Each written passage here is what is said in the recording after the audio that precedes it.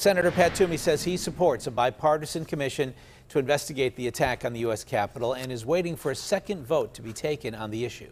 At the same time, in an interview with Jon Delano, Toomey rejected claims that he was holding up a transportation bill because he opposed more funding for public transit. Pennsylvania's Republican senator has announced his retirement, but he's still in the thick of things at the U.S. Capitol. Generally conservative, Toomey, who voted to convict Donald Trump for his actions on January 6, is not always predictable, and he's not quitting early.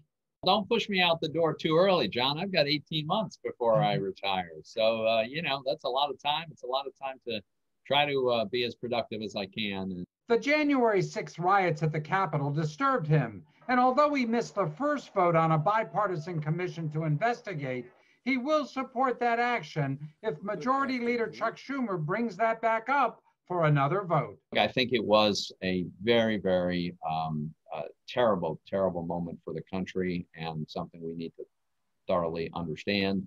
Toomey supports a commission with five Republicans and five Democrats, but he says both parties must have staff, not just the Democrats. If there's not an agreement between the D's and the R's on a, a common staff, then they both should have their own staffs. And Senator Collins has led the effort to make that change. Um, I will support creation of a commission to do this investigation, provided that the Collins amendment were to pass. On another issue, some accuse Toomey, the senior Republican on the Urban Affairs Committee, of blocking the surface transportation bill because he opposes more funding for public transit.